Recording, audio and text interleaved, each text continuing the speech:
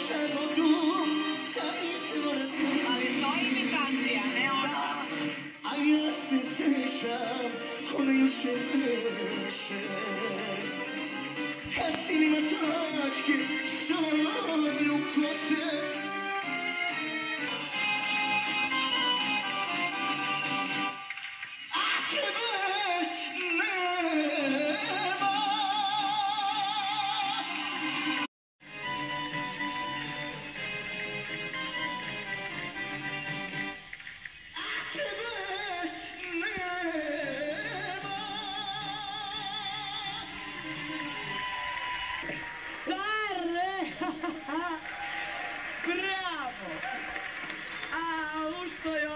dobro!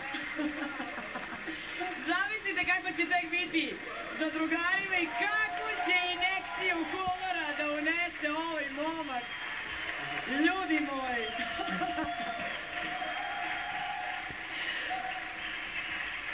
Ajde, aplauz ne prestaje!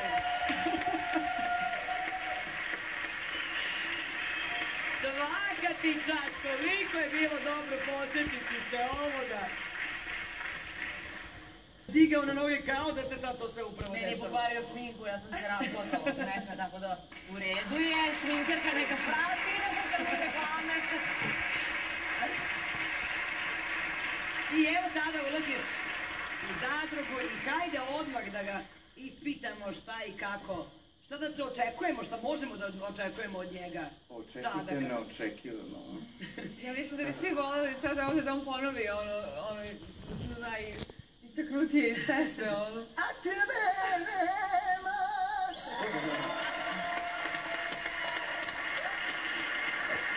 A, Stasa nije jedini koji večeras ulazi u zadrugu.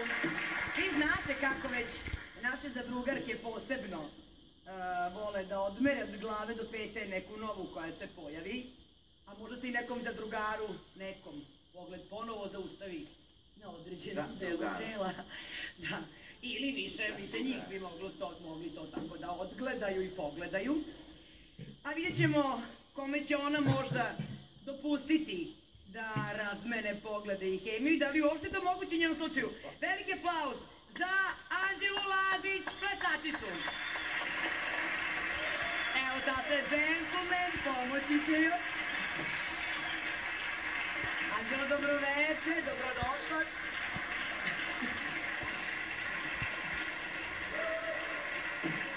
E, hajde odmah da vas pitam. Šta očekujete, Anđelo, predstavi nam se malo, malo bolje, kakva si, šta možda očekujemo od tebe, jesi li temperamentna, jesi li povučena, jesi li opasna? Ja sam ono što jesam. E, a kakva? Evo to sam, vi ste imali priliku malo da popričate. Ja i ona. Pa sad Ma tako. opasno. Anđelo, drago. A dobro, ne, samo da popričate. Vidi, da za taj stav će ti možda pomoći za, drugarima, kad se uključe novinari, to ja i ona ne sećam se, ja da budem a, malo bolje od kamera.